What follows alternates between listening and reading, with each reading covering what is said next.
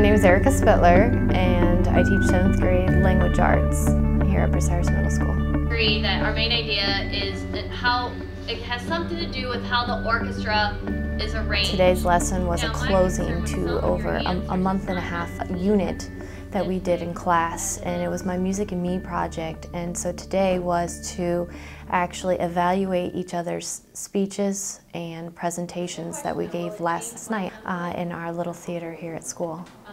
So they had to use a rubric, evaluate how did they feel they contributed to their group throughout this month-long project and then they had to evaluate each member and not only give it a score based on the rubric, but also provided specific feedback on uh, rationale of why the score was given. But they had to fill out the rubrics, actually, both rubrics online, and then submit them on the Dropbox that's on our website too. So I don't get any papers, and I love it that way. Uh, to top of your Schoology page, and um, go ahead and under SpongeBob, Go back to materials. Click on materials. It's right above updates. All right. Bless you. So you should see assignments, online test quizzes. All right, go ahead and click on assignments, please. We have two new ones that we're going to work on today. All right, so you see the two. All right, before you click on anything, hands up. Up, up, up. Okay. Eyeballs up here, though. I need to make sure you're paying attention. All right, First thing we're going to do is a uh, music, give me we're going to do a group evaluation. Okay? Now, this is something, and I'm glad we're, you're not sitting necessarily with your group members. Okay? I'm going to show you what the assignment is before you open the file. Alright, you see this document that I attached here. Let's look at this document. Do you see how when I clicked on it, this popped up? What button should we push. Save. Save. Actually pay attention where it's saving. Where should it save to? My documents. My documents. You would hit save. And it's automatically going to open your uh, My Documents. Okay, so once you save it, uh, let me go ahead and open it so we can take a look. All right, first thing you're going to evaluate is yourself out of 10, 8, 6, and 4 points. Did you think that you stayed on task during an entire project and did his or her share of the work? Did you do your share of the work? Give yourself a 10 out of 10. Or maybe you're like, ah, I stayed mostly on task. I did some of the work. And I'd like you to, even if you give yourself a 10 out of 10, please explain your grade. Mikhail? Is this on the speech or the uh whole This is the whole Music and Me project in general.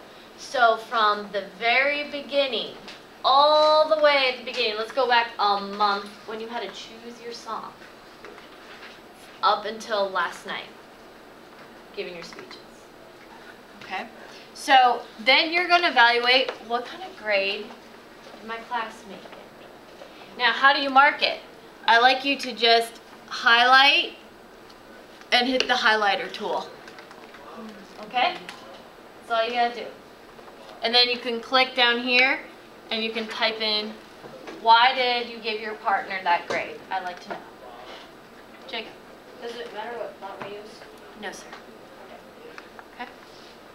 Okay? Are we able to put like the names of them? Yes, please put the name. Okay. Okay? That's a great question. Can I put the name of the partner? I, I, yes, I want you to put the name of the person that you graded. So go ahead, and if you haven't already, make sure you save it in My Documents, and then go ahead and evaluate each other.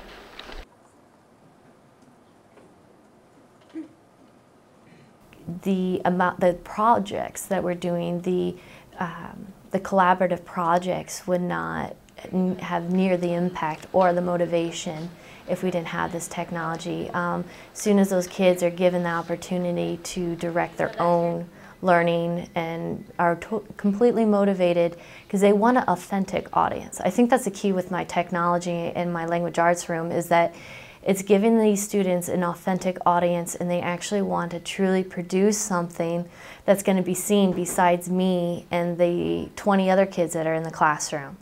Now we're hitting, we're doing things that the entire community is seeing. And I think they take more pride in their work.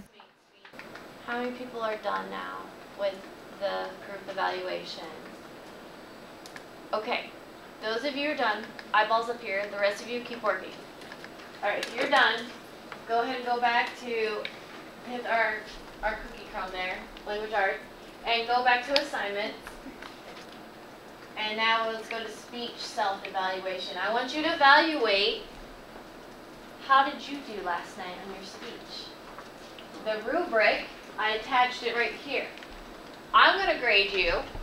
You're going to grade yourself. And we're going to average the two grades. Okay? All right. If you take a look, you can look at the rubric. It's at 30 points. Now, uh, I have the videos in our media, media album on Schoology, but it's taken a while to buffer. Mikhail, did that buffer yet? Uh, It's, it's still loading, isn't it? Yeah. Okay. I also put them on our SharePoint site. So if you would like to go to SharePoint, just create a new tab, and should be your home page. Okay. Now remember where we stored all our uh, pictures for our Music and Me project in my folder?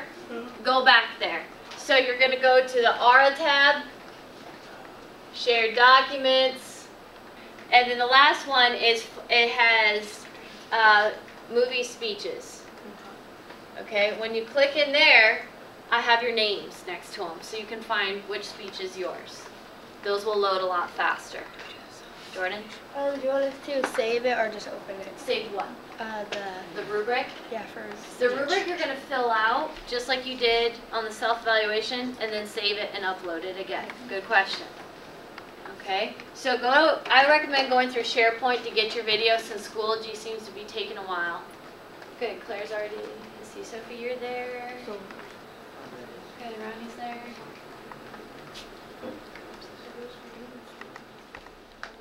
I have enough students that do not have internet access at home, uh, nor a computer. Um, however, they do have library access, but I find it very difficult to require projects be done online and then they can't. Um, and because of some students have a single parent, they can't just go to the library. Um, they just can't stay after school.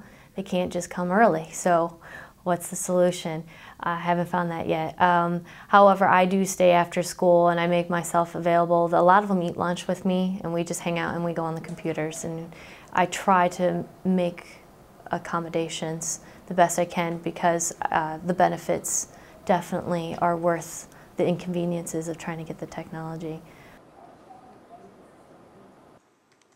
I found that I get so much better feedback and, answers if they're allowed to type them. So now a lot of times in my regular classes, the students are able to type their uh, free writing right onto our discussion page on our website um, or just type right into their uh, e-journal on their netbooks and I'm getting substantial uh, feedback. It's been amazing to see how even the lower level students can handle these things when a lot of teachers want to say, no, they can't do it, they can't even write their name on the paper, um, and then they're producing things that are better than maybe even the honors kids are producing. So.